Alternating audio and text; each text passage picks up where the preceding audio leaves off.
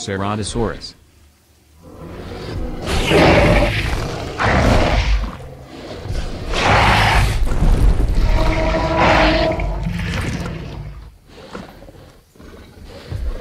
Ceratosaurus was a powerful predator that walked on two strong legs, had a strong, S-shaped neck, and had a short horn on its snout.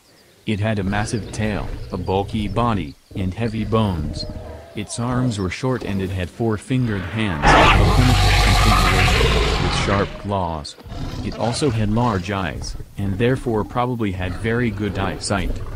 Ceratosaurus was 15 to 20 feet long, 4.5 to 6 meters long, weighing roughly 0.5 to 1 ton, 500 kilograms to 1 ton. It had a skull a snout horn and two short brow ridges, and bony knobs and ridges above its eyes and on the top of the head.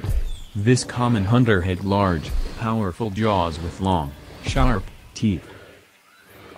When Ceratosaurus lived, Ceratosaurus was a large but common meat-eater from the late Jurassic period, about 156 million to 145 million years ago.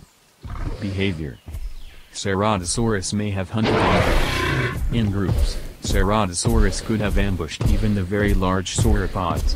Ceratosaurus competed with the giant predator Allosaurus for Iguanodons, stegosaurs, sauropods. Intelligence Ceratosaurus was a theropod, whose intelligence, as measured by its relative brain to body weight, or F, was high among the dinosaurs. Diet Ceratosaurus was a carnivore, a meat-eater. It was a large, fierce predator that could kill even large sauropods. Ceratosaurus may also have been a scavenger. Locomotion Ceratosaurus walked on two muscular legs. Discovery of fossils Ceratosaurus was named in 1884 by paleontologist Othniel C. Marsh, who theorized that Ceratosaurus was a good swimmer, like the crocodilians, since it had a long, thin tail. Many Ceratosaurus fossils have been found, in Colorado and Utah, USA, and in Tanzania, Africa.